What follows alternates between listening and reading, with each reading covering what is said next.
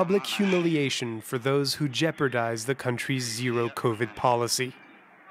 Four men in hazmat suits, handcuffed and tightly guarded, accused of illegally bringing foreigners into China's borders, which have been virtually closed since March 2020.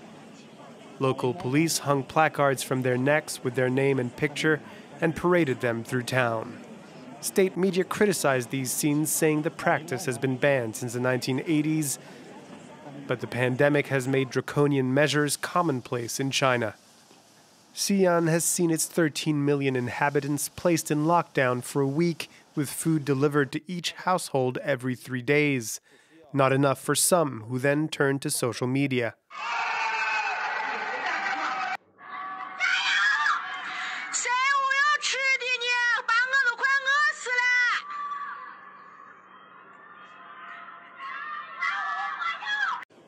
Local authorities admit food delivery has been affected by the restrictions, and the priority is given to mass testing. 160,000 people mobilized and a huge new testing center built. 两组可以达到二十五万挂。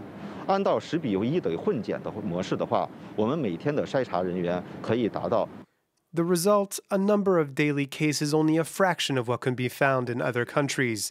On Thursday, just 224 people tested positive in the mainland. When it comes to COVID in China, the end justifies the means.